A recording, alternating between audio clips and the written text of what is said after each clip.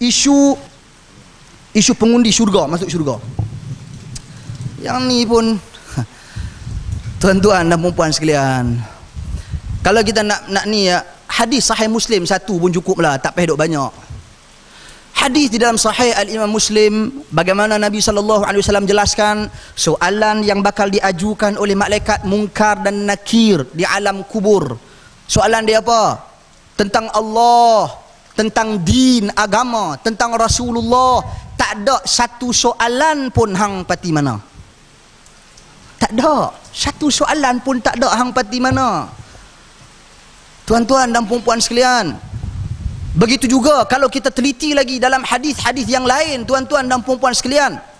Yang layak menawarkan syurga hanya Allah Subhanahu wa taala. Nabi pun tawarkan syurga dengan izin Allah Selepas daripada Nabi tak ada seorang sahabat pun yang tawarkan syurga. Hang sokong aku, hang masuk syurga.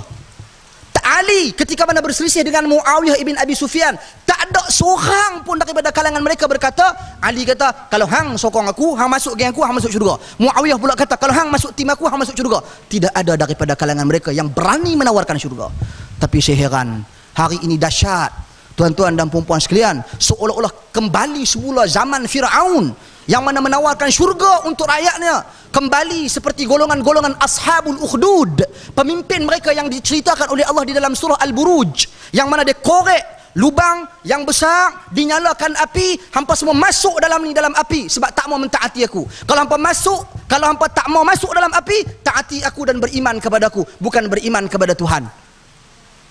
Adakah wujud kembali manusia manusia seperti ini Apabila kita ajukan kepada mereka, mereka kata kami tak pernah tawar kamu syurga, salah faham. Salah faham inilah yang kalian perlu perjelaskan, perlu terangkan kepada pengikut-pengikut yang ta'asuk dan fanatik kepada kalian. Perjelaskan. Mengapa diam, tak cakap, no comment, apa pasal? Bagi cakap. Bagi pengikut-pengikut ni faham agar mereka tidak terlalu ta'asub, agar mereka tidak terlalu fanatik. Kerana Nabi dah pesan tentang golongan-golongan ta'asub dan fanatik ini kata Nabi sallallahu alaihi wasallam, "Iyyakum wal ghulu, qad ahlaka man kana qad ahlaka man kana qablakum al ghulu fid din." Hendaklah kamu menjauhi perbuatan-perbuatan fanatik, pelampau-pelampau dalam agama, sesungguhnya perbuatan-perbuatan pelampau ini telah memusnahkan generasi sebelum daripada kamu. Sidang hadirin, tuan-tuan dan puan-puan sekalian. Jadi jika Nabi pun tidak ada mandat untuk tawarkan syurga melainkan dengan izin Allah, siapa daripada kalangan kita menerima wahyu daripada Jibril? Siapa terima wahyu daripada Jibril?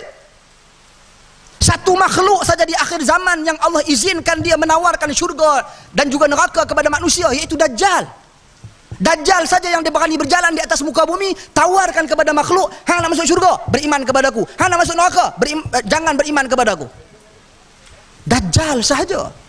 Jadi kita kena hati-hati tuan-tuan dan puan-puan sekalian jika Dajjal-Dajjal ini muncul dan kembali dalam bentuk rupa manusia. Memang benar kata Nabi sallallahu alaihi wasallam dalam hadis, yakunu fi akhir zaman dajjalun kadzabun ya'tunakum min al-ahadith ma lam tasma'u antum wala aba'ukum iyyakum wa iyyahum la yudillunakum wa la yaftinunakum. Hadis Muslim. Maksudnya kata Nabi SAW akan datang di akhir zaman Dajjal, Dajjal Nabi kata Dajjal, Dajjal Lebih daripada sekok Dajjal hak besar tu Memang sekok eh Yang ni kata Nabi Dajjal, Dajjal, Dajjal. Banyak dajjal ni kata Nabi SAW. Kazabun, pembohong-pembohong, pendusta-pendusta. Mereka mendatangkan kepada kalian perkataan-perkataan yang tak pernah kalian dengar daripada nenek moyang kalian. Yang ini tak pernah dinukilkan daripada Nabi, tak pernah dinukilkan daripada para sahabat, tak pernah dinukilkan daripada para ulama. Hati-hati dengan mereka kata Nabi. Dibimbangi mereka akan menyesatkan kalian. Dibimbangi mereka akan menjauhkan kalian daripada pegangan agama kalian.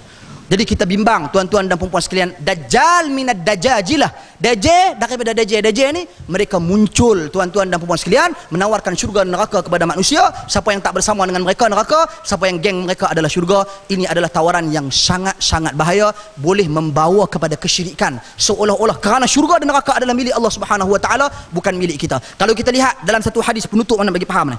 Hadis ini tuan-tuan dan puan sekalian Tentang tiga orang kelompok manusia Tiga kelompok manusia yang mana mereka di dunia dipuji. Seolah-olah mereka ni dinampakkan sebagai, oh mereka ni adalah ahli syurga. Orang yang pertama, orang yang berjihad. Lepas tu nampak dia mati di medan peperangan. Orang kata dia ni mati syahid.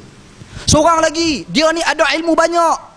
dia boleh baca Quran, dia boleh baca hadis, dia boleh ulas ilmu dan sebagainya, memanfaat manfaat untuk manusia umumnya. Jadi bila dia mati orang kata dia ni hebat bagi manfaat kepada kita. Orang yang ketiga dia kaya, duit banyak, dia sibuk ada kerja, dia sedekah tiap-tiap hari. Dia berkata bila dia mati dia berkata ha inilah orang yang kuat bersedekah, amal jariah. Tuan-tuan dan puan sekalian, ketiga-tiga kelompok, tiga-tiga orang lelaki ini hal yang berlaku adalah sebaliknya.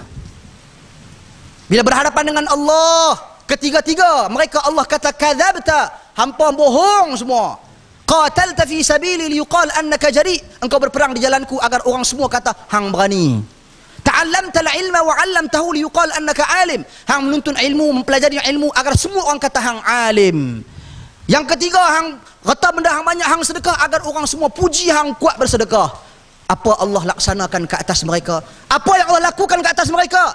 Fasuhiba ala wajhihi hatta ulqiya finnar. Diheret mereka di atas wajah mereka lalu dicampak mereka ke dalam api neraka. A'udzubillah. Di dunia mereka dilihat macam ahli syurga tetapi sebenarnya di akhirat mereka adalah ahli neraka. Sebab itu kita bukan boleh menawarkan boleh menghukum. Kita tak boleh hukum orang hang ahli neraka hang ahli syurga. Kita dituntut membaca hukum. Contoh membaca hukum tuan-tuan jangan kita tinggalkan salat kerana sesungguhnya kalau sesiapa yang tinggalkan salat hukumnya Nabi sallallahu alaihi wasallam maklumkan boleh membawa kepada kekufuran. Kalau tinggal dengan sengaja menolak kewajipan salat membaca hukum boleh. Tetapi menghukum dia tu kafir hampa ni kafir pati ni kafir. Ini perbuatan yang haram haram bercanggah dengan prinsip dan dasar Islam. Wallahu a'lam